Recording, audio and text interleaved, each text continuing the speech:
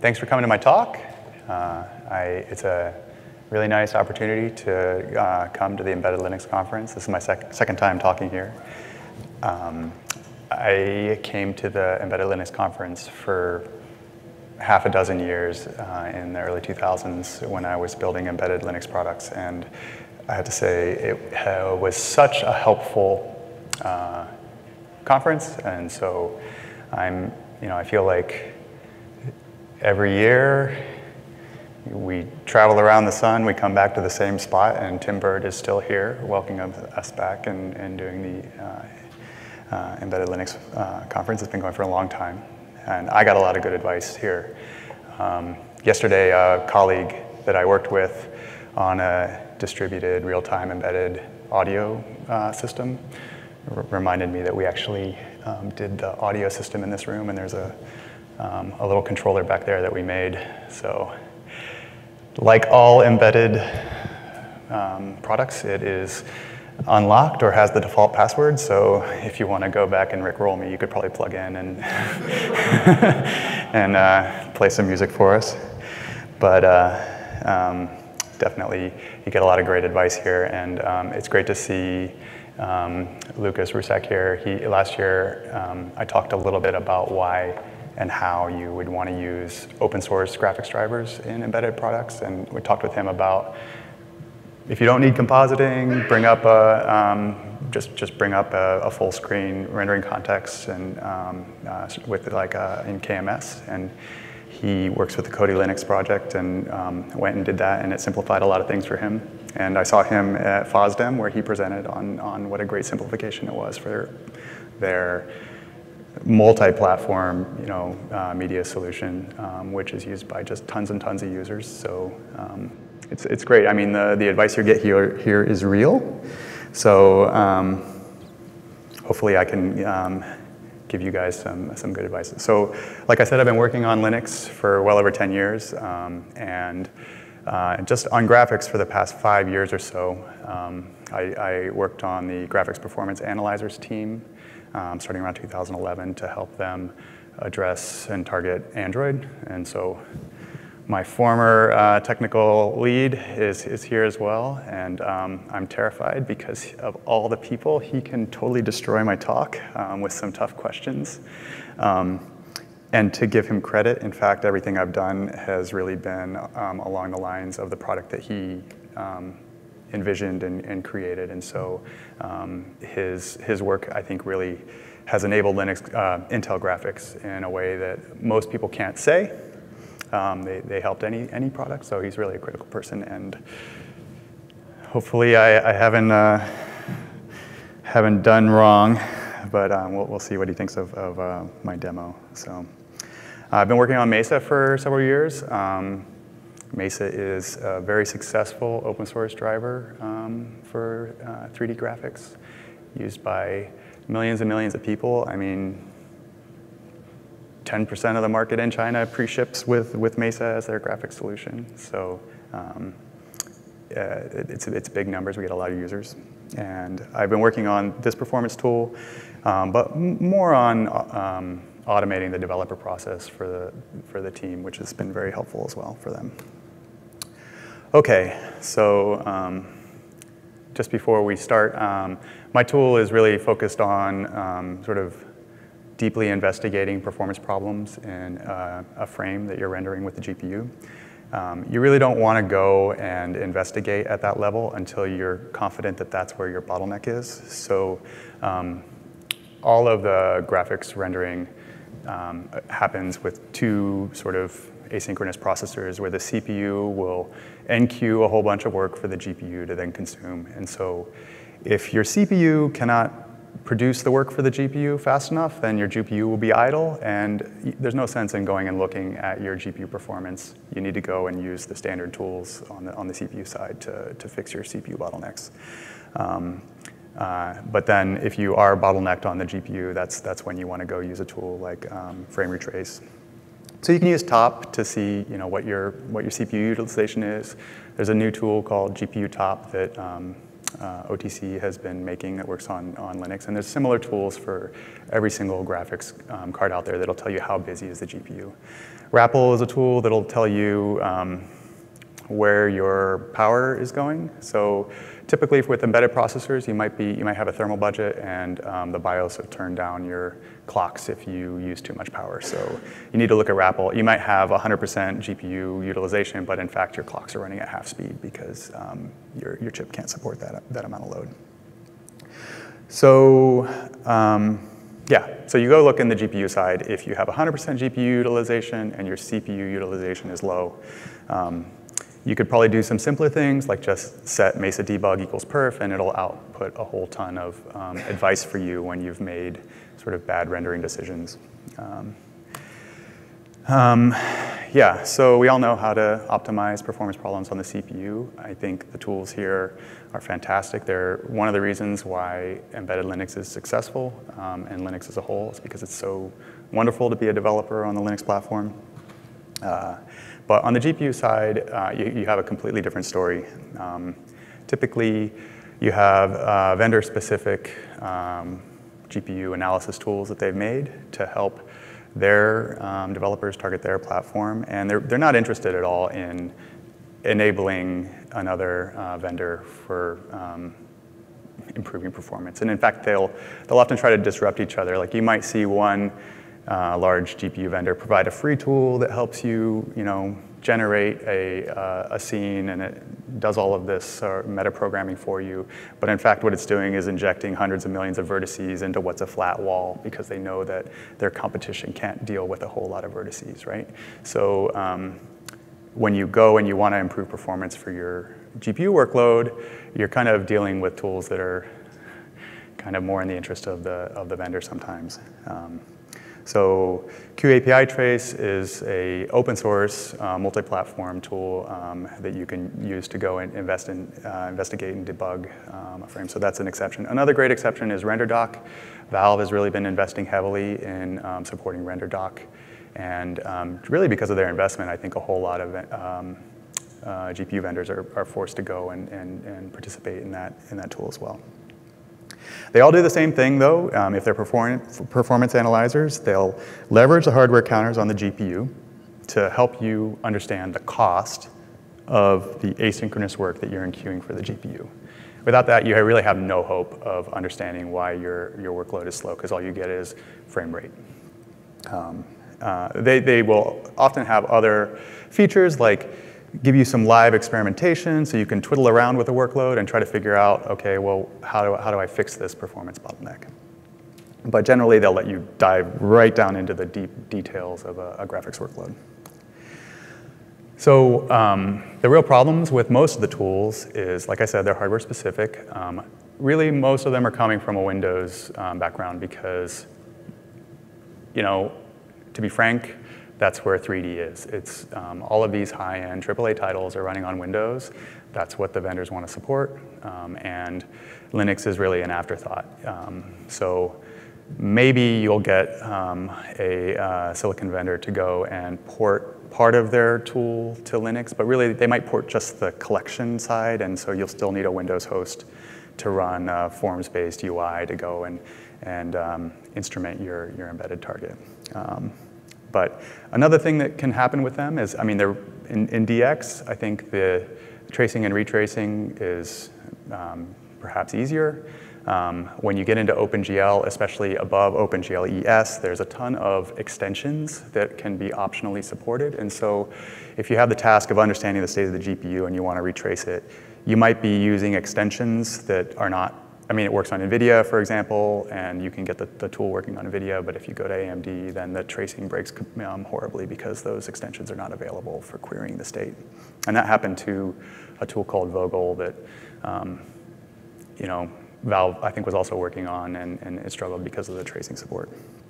Uh, the other thing is that, um, frankly, there's just low numbers of users. Um, I think graphics programming is a niche within computer science. Uh, but Linux graphics programming is a micro niche. You know, you guys, if you're programming graphics on Linux platforms, you are the exotic few who um, are so intriguing. Um, my, my, my six users, you know. Um, actually, I don't, I don't know. I mean, I think it's going to be growing. Um, the fact that the Google Play Store is coming to, to Linux platforms on Chrome OS, that just means you have hundreds of thousands of 3D titles that are going to be running on Linux. Um, you know, for the first time, there's a stable API, ABI where um, commercial vendors can go and write um, applications and charge for them and have them running on a Linux platform. So another reason why um, these tools haven't worked on Linux is because the counters haven't been there. We really haven't um, been enabled until recently to expose this information for whatever reason, um, and that's been true for other vendors as well, but um, Radeon is now exposing GPU performance counters in, in Mesa, and so is Intel, so um, that's what enables this work. So I have um, written a tool I'm calling Frame Trace. It's based on API Trace, which is perhaps the most widely used um, OpenGL debugging tool out there. Um, it has uh, really high quality um, retracing, and it's used by tons of vendors. It was written by VMware.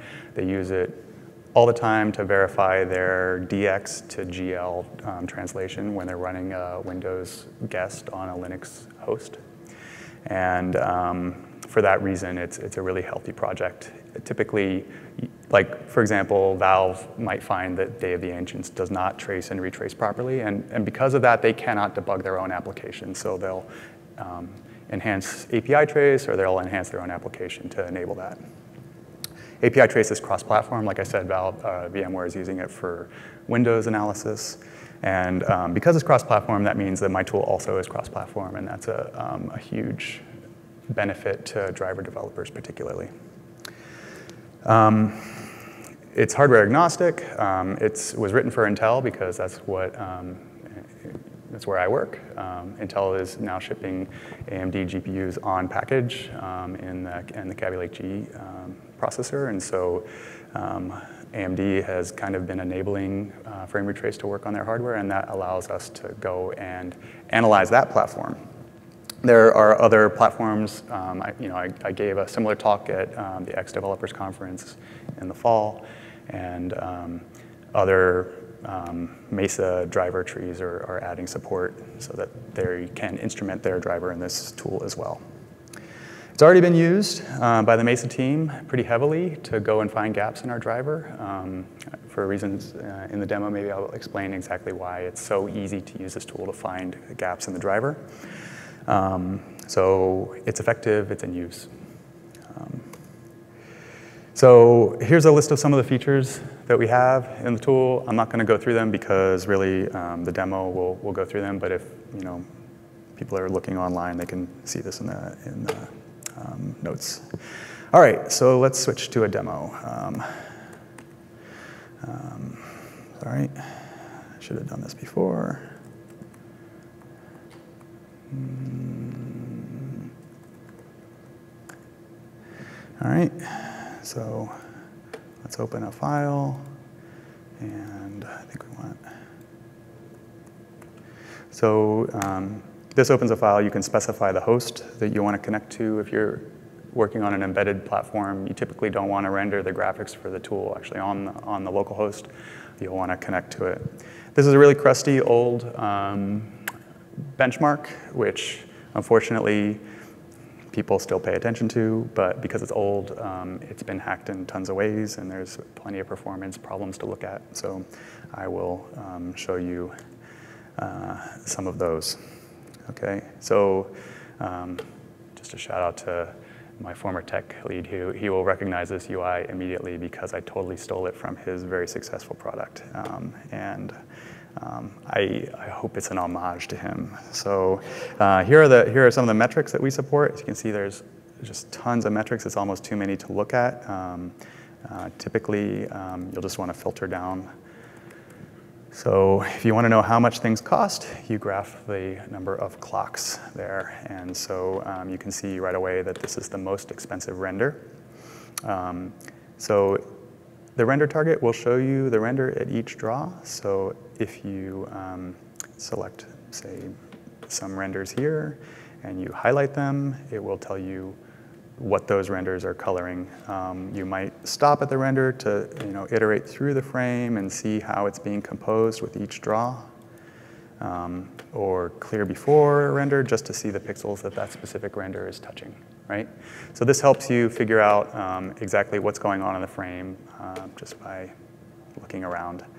Um, there's API calls. I mean, it's pretty standard stuff, but like if you were looking for clear calls, you might type in, you know, clear, and so these are the these are the renders that are calling, you know, clear. Um, this this I think the UI could use some work. It'd be nice to have different colors for the bars if they're clear, so you can really see them easily. Um, some other nice features. Um, so for every render, um, I capture the batch disassembly. That's the, um, the, actual binary instructions that are sent down to the GPU. Um, and um, I don't think this feature is really available in any other driver where you can instantly go and get a dump of all the information. So for driver developers, there's a lot of features that need to be added to this tool, but for driver developers, they can find anything they need to understand um, the details of, of, a specific draw call, whether it's using one texture format or another. Um, in the shader view, um, we will capture the vertex and the fragment um, shader, but we also display the intermediate representation in the sing static single assignment form, and then the um, SIMD8 or SIMD8 uh, 16 binary um, compiled shader that's sent down to the GPU. So that can be helpful for driver developers or compiler developers who want to understand why, they're, um, why this shader is compiled in a certain way and is slow. What else can I show you? Um, should see the, um, the metrics. So as I said, there's tons of metrics, and um, they have longer descriptions that you can look at. If you don't really know what a DS stall is, you can see that it's domain shaders. That's not really something um, for the, the T-Rex demo, but there's tons them, tons of them, and if you're looking at a specific render or a set of renders, it'll tell you what the cost is of that selection relative to the rest of the frame. So this is a, a, pretty helpful way for you to quickly narrow down what's expensive, how expensive is it, and um, then you can proceed to go and experiment. So um, for example, this expensive shader, if you wanted to replace it with a simple shader, um, let's look at the shader real quickly. So the vertex shader is nothing because um, in fact, you can tell it's just drawing two triangles to um, present a rect to the screen. But um, the fragment shader is um, a little bit more complicated. If you replace it with a simple shader, um, the shader just turns to draw the pixel pink. That's about as simple as you can get, and the render target is now completely pink. Um, the metrics will show that the cost is much cheaper. Not that cheap though, it's a lot of pixels. So um, so that's the way the experiments. Or you can disable the draw completely and, and um, see what the overall frame rate would be if you weren't doing that draw. All right, so the reason I picked this is because um, this particular shader has an expensive motion blur effect. And um, if you look at the render, so here's the render target. If you look at the renders before that, what you'll see is um, kind of a ugly green screen. And what that's doing, it's, it's kind of changing the pixel value based on how fast the object's moving in, in the render. And then in the final shader, it'll sample from those pixels, and based on the value, it will figure out how much it wants to kind of swizzle the, the texture state a little bit to make a blur effect. So um, the problem with that is um, if you looked at that texture, it was mostly zero. Um, it mostly is not moving. Um, and what this shader does is, sorry, let me get the right shader. What this shader does is it will, for every pixel, cut it down by 25% and then sample from the, the adjacent, adjacent pixels um, depending on what that value is. So um, there's a really simple hack um, that you can do, which is I'll just paste in another shader. So um, you can edit this. So if I type something in and compile, it'll give me a syntax error. Um, but if you select it all and paste in a completely new shader, um, what this will do is if the motion value is zero, don't bother sampling four times from exactly the same value and then adding them together to get the same number that you would have gotten, just sample once. So watch the cost of this render when I compile it. It goes down by you know 30%. So that's enough for like seven or 8% for this whole benchmark to change that one shader. So um, this is not something that we can put in Mesa because it's an optimization designed specifically to alter the score of a benchmark to make our hardware look like it can process this bad shader. But if you have a proprietary driver from a vendor who's giving you a large 40 megabyte binary blob, you have to ask yourself what's in that blob. Um, and probably what's in it is a lot of shaders for benchmarks that they've rewritten the shaders to try to give, you know, if I happen to be running, you know, benchmark X, don't do what it says, let's do it the right way. Like, let's avoid our own glass jaw and, and rewrite the shader completely. So, um, like I said, lots of dirty tricks that you can, you can play with a proprietary driver stack. All right. Um, in fact, if you look at the render target, it is exactly, it's pixel the same, right? It's equivalent. Um, we did have a bug when we went and um, tried to implement this. We weren't getting the performance benefit, and it turned out we did our math wrong. And so, it, you know, just an example of how you can experiment quickly. If you say, okay, well, let's just make those pixels black for if I'm in this if case and you hit compile and you look at the render target. And it's actually interesting. I wouldn't have, from the green render target, I wouldn't have noticed that the waterfall was also moving slightly, um, but um, you, can, you can quickly change the shader, recompile, and re-render, see the performance difference, and, and try to find the bugs in your shader. So this is a performance tool, but it's I think even more so a shader debugger tool, and that's really what's missing in the Linux graphics space. All right, I think that's enough for, just make sure I, okay. So let's, let's go on quickly to a more complicated demo um, because that workload is not that interesting. Um, so for this one, I'm going to um, disable, I'm going to enable the shader cache. We have a new transparent shader cache in Mesa, which makes things much faster. And that's lovely for all of our users. Unfortunately, when you're not compiling the shaders, this tool can't um, collect all the intermediate assembly and um, give you the, um, the binary, the SIMD16. So um, we wouldn't, we'd still be waiting right now if, if I, I didn't have the shader cache enabled. Um, So those of you who are writing Mesa Master, I think that's it's good for you. The shader cache is there for you, and I think it will stop your games from jittering as you enter the room where new things are rendered. Um, okay, so this is um, Aztec Ruins. It's the, um, I think it's the newest GFX bench um, uh, benchmark that people are working towards. But again, you can see in the profile that the performance is totally dominated by a few um, renders, um, specifically this one. And in fact, um, if you, it's always the, it's always the compose, compose the final frame. What's this frame doing? I'm to zoom in a little bit. Um, if you look at the renders leading up to it, what you'll see is um, different blurry, blurriness, right? So it's, it's rendering the same thing over and over again with different blur effects. And then in this frame, it's, it's um, composing them completely. You can see maybe in the back here, there's a little thing that's far off. And um, if you look at the previous one, it should just clear up a little bit so it gets clear. It's a depth of field effect, right? So it's trying to make it look like a camera's focused. Um, still expensive. If you look at the render, you'll see um, that, oh, sorry, vertex shader is nothing, but in the, in the fragment shader, um, it appears that GFX Bench has noticed that, um, that everyone is replacing their shader and making it more efficient, because in this case, they actually do check to see if there's anything, and it's only in the else case where they iterate through and, and go and sample for the, for the blur effect.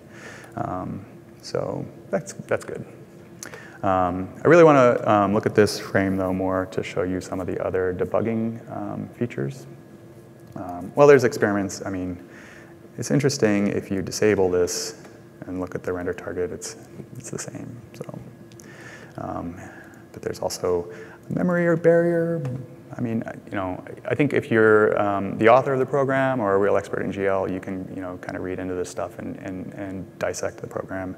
There's similar tools for DX, and actually it's pretty interesting online to go see someone go dissect Grand Theft Auto and tell you how all the shaders work and, and what they're doing. Um, so it's a great way, this tool is a great way to learn OpenGL um, and other shader debugger tools are, are great for learning DX, whatever. So, All right, so I didn't show you uniforms. Um, these are the constants that are attached to every program that parameterize the execution. So typically they might rotate a triangle in space and put it in the right spot for rendering. Um, before I do this, I want to locate the character in the screen.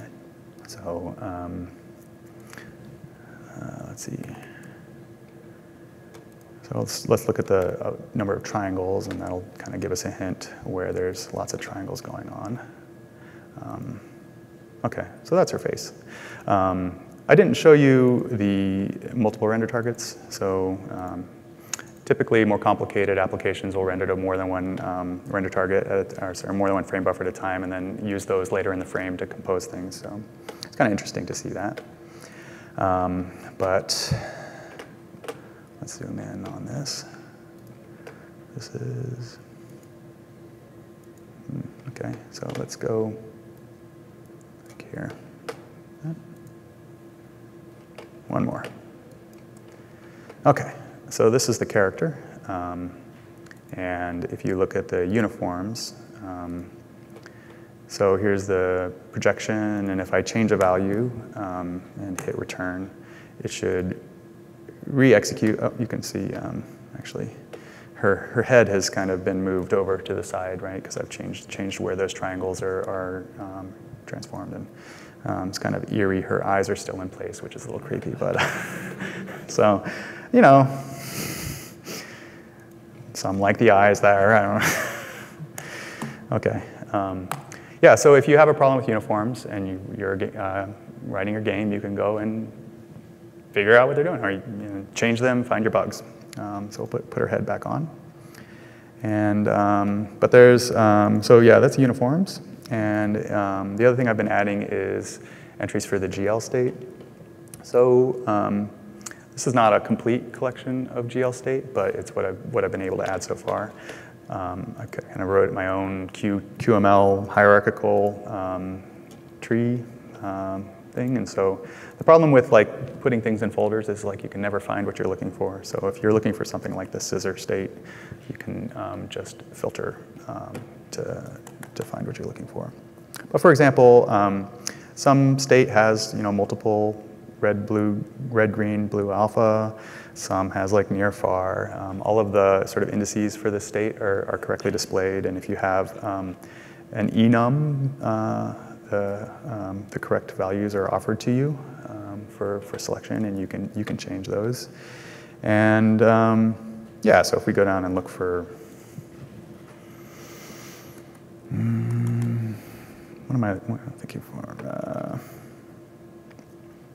yeah, like the write mask. Um, so if red is enabled, that means that when you're rendering a red pixel, the red channel is written, and if you disable it, that means the red pixels are not going to be written. It's going to keep whatever red value it had before. And so go back, look at the render target, and the character is kind of see-through because the red in her um, frame has not been written. It's got the same value it had before. So there's a, an example of, of, of that. Um, you can go and culling is another thing. So culling is on and it's culling the back face of triangles. So in a model, there's a bunch of triangles. If she turns around, a bunch of triangles are facing the opposite direction, and you don't need to run the shader on those triangles because they're, they're facing away, so it culls the back face. If you cull the front face, um, and go back to the render target it's just kind of turned her around, except for her eyes, which is also creepy, but um, she's, she's decided that it's too dangerous to go after the gem, and she's uh, you know, gonna turn around and, and walk out, so. Um, yeah, so you can change any of the state, and I think it's pretty easy to add new state items. You just kind of look through the GL spec and collect it, and then overwrite it when you're, when you're retracing it. Um, if you go to the end, it's interesting, her, um, she hasn't turned around in the final frame, but that, that, that turns out to be because if you remember, we turned this shader off with the GL memory barrier, and if I turn it back on in the, in the render target, she's um, rendered around. So you can hack the stuff. Um, yeah, so I think there's anything else I wanted to see. Um, um, yeah. We can do scissors state, uh, forget about it. We, let's, let's move on um, in the interest of time. Okay, so um, I want to show you a really uh, complex uh, frame, not a, not a benchmark, not something simplified just to exercise your GPU, but an actual Unreal demo. And um, let me see what, uh, frame 29. So um, this is like OpenGL 4.4, I think. And um, it's not the fastest thing. It's, it's um, intended to provide a lot of photorealistic effects. Uh, this is the kind of thing that a lot of retracing, these are the, these are the workloads that they're going to fall over on. So if you don't have a tool like KPX is built on top of, um, and you're Unreal, it's, you're going to want to go look at this complicated workload, it's not going to work. Um, so um, it takes a little while for it to iterate over the frame to give you all the metrics. But. So um, again, you're going to see dominated by a few, um, a few uh, bars. So this is, this is where, the, where the time is going. And if you um, want to go and give it a second. Here we go. So if you want to go and, and look at the, the shaders, you'll, what you'll see is there's actually not a um, fragment shader or vertex shader, it's a, it's a compute shader. And um, the reason why it's expensive is like it's a it's a pretty I don't do you guys have like limitations on how far you can indent code when you're when you're when you're contributing because uh, yeah this one is a monster right uh, like so so that's why it's expensive um, uh, I think the um, other one is the last one this is not a compute shader but actually it's just one call and it's flush so again, if you want to go and, and find the performance bottlenecks, you, you simply cannot look at the frame rate, right? You really have to know, understand what's going on in the frame and, and experiment and, and, get that feedback. Uh, if you have a flush, it might mean that you've got two different threads that are ping-ponging back and forth. One's preparing the um, GL commands for one frame, and then the other one's going to do the other frame, and then they're going to be rendered in a single context. And so, um, so they're probably trying to work around underpowered CPUs, and I would recommend that they use Intel processors if that's a problem for them, because we have really powerful CPUs, and our GPUs, you know, are not as powerful, so you can get by pretty well. You don't need this kind of crazy programming technique. Um, uh, yeah, so if you go and let's disable these things, kind of bring bring bring up the other uh,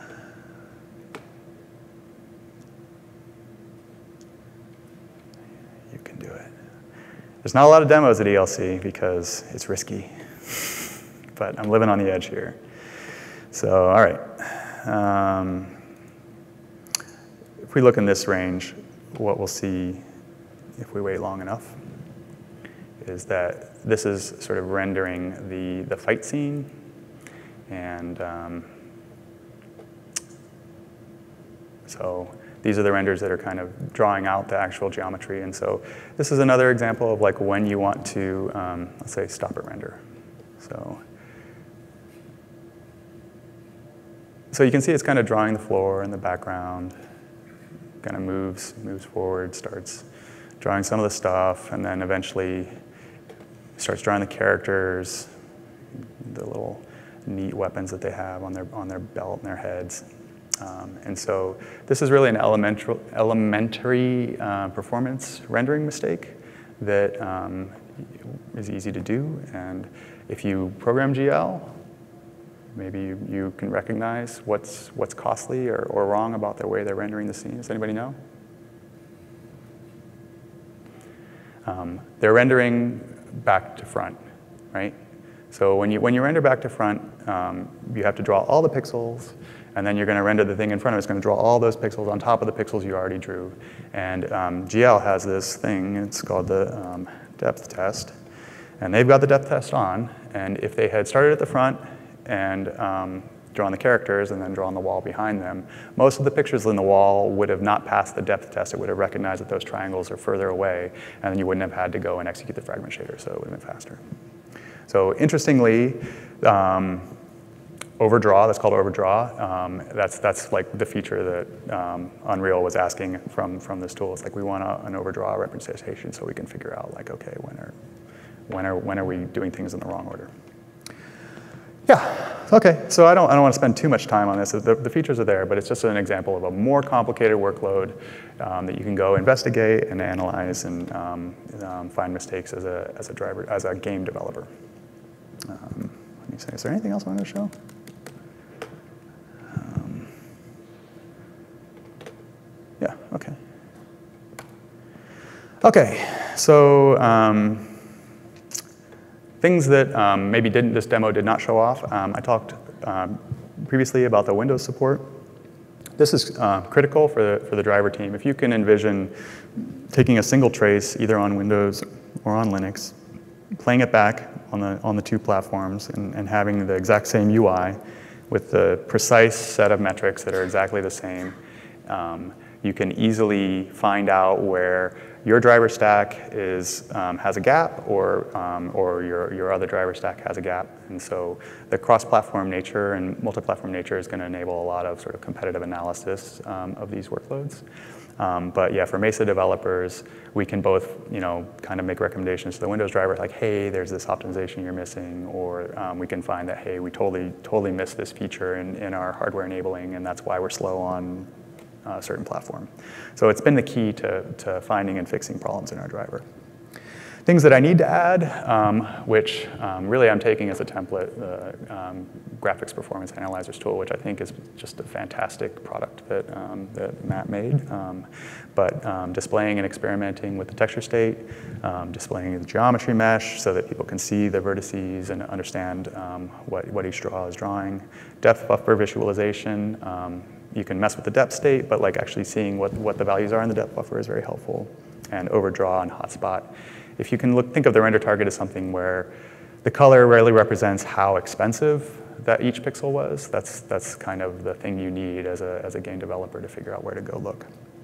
Um, UI improvements, I'm not a, a, Qt, QML developer. This is my first sort of attempt, um, so Trying all the time to make it a little better. Um, but also adding support for more hardware and Android specifically. Um, you know, uh, API Trace dropped support for Android because it didn't seem like anyone was using it, but it's really the thing. Google has kind of signed up to re-enable Android support in API Trace, and that'll let, let um, people like Mesa developers or, or um, game developers go and figure out like how can they fix um, performance problems.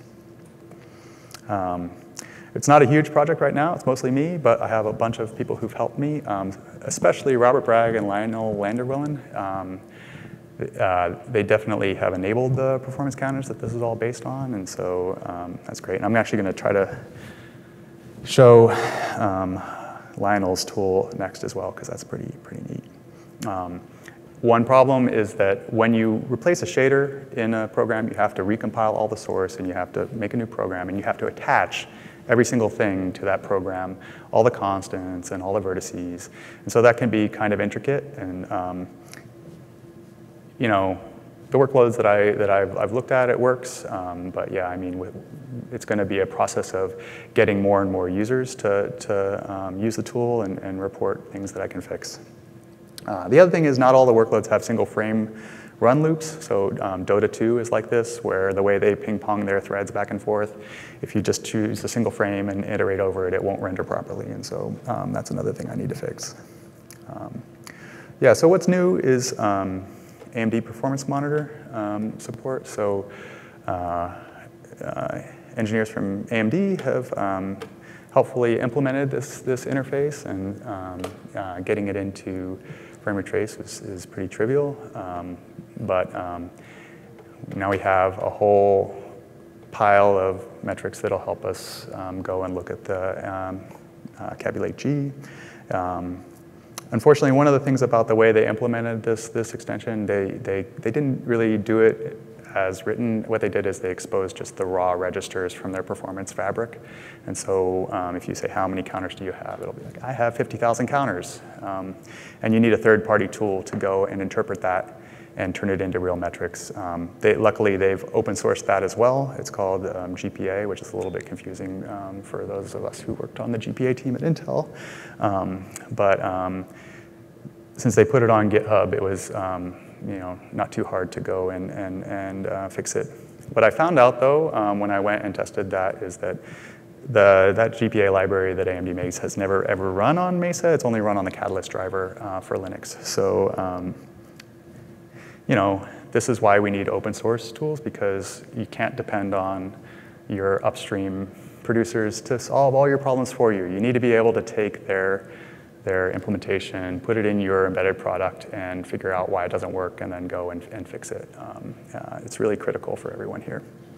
So um, that's what's happened with GPA. So it's, this is fresh out of the oven. It's, it, will burn your fingers. I mean, um, i think I'm the only person who, who's ever gotten um, AMD metrics off of Mesa. So if you run right now to my frame retrace branch and, and look for uh, a GPA branch next to it, um, you could be the second person in the world to, uh, to look at uh, Radeon metrics for a uh, graphics workload on Linux. Uh, as a side effect, though, um, Raspberry Pi and Nouveau, they've both added support for the AMD performance monitor, so um, all those developers are eager to get the same support for their, um, for their platforms, and, and those will be arriving soon. Okay, um, I have a little bit of time, so I want to um, talk a little bit. If you remember, I, I mentioned uh, you use GPU top to um, see the system load, and I, would like to show that for you. Um,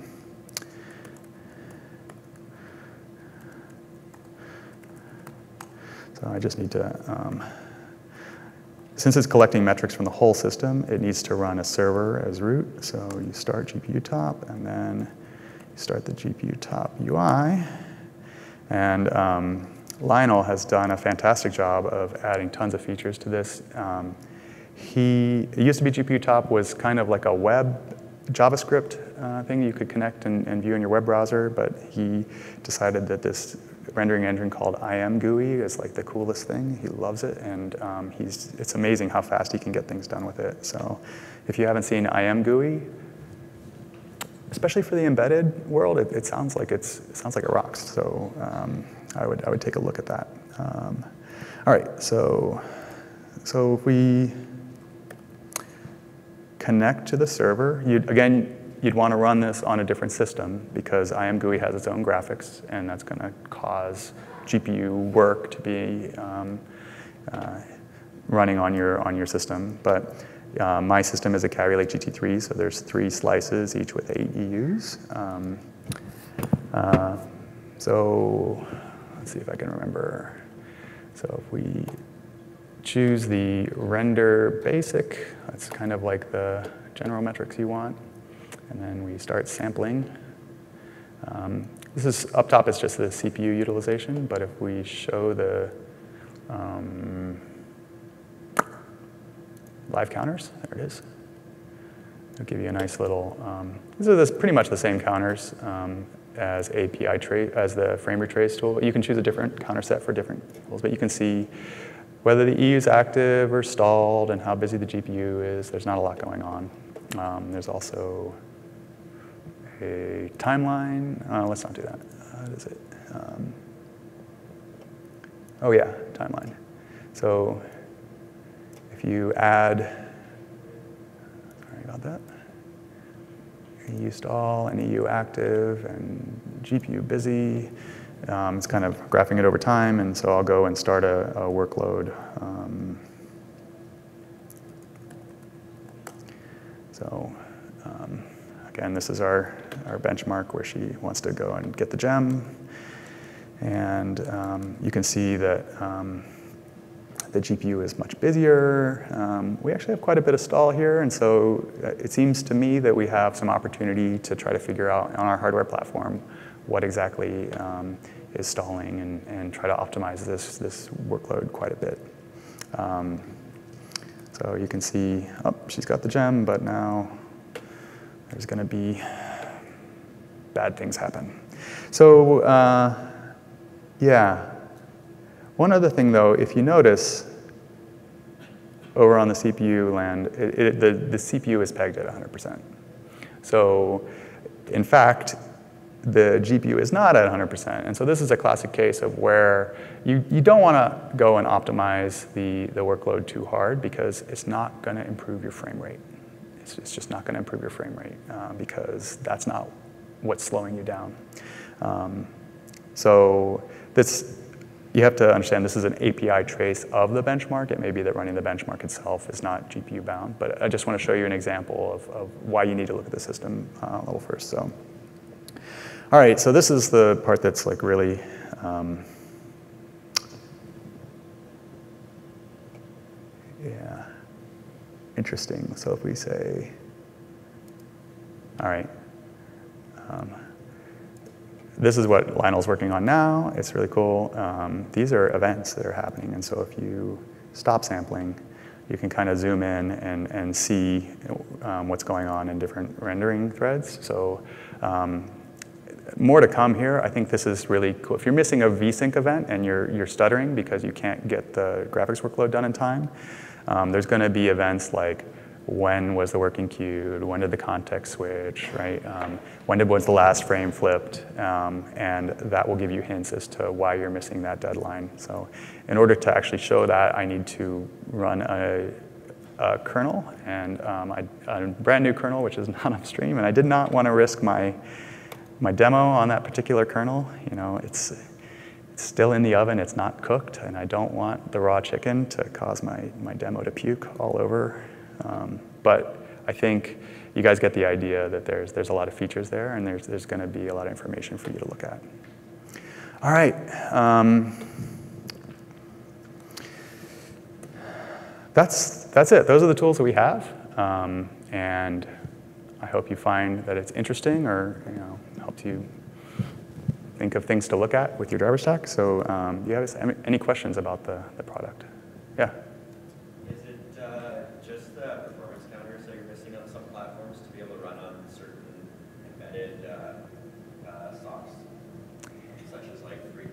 Yeah, yeah, yeah. I mean, you know, like um, before performance counter support, you click on the metric drop down. Uh, so the question is, is it just the performance counters that we need in order to make the tool run on other, um, other platforms? And I mean, the bar graph is the most important part of that tool if you're looking at performance. Um, if you don't have performance counters, the number of metrics you get to um, graph is one, and it's called null metric, and it just is a, a, flat bar graph. You can still use the debugging because OpenGL is OpenGL, and this intercepts at the OpenGL layer. Um, so I know that um, the um, Broadcom driver developer has fired it up to go look at, um, at, at, workloads just for debugging. So, yeah. Anything else? All right, well, um, thanks for your time. I hope it was interesting, and I hope you enjoy the rest of the conference.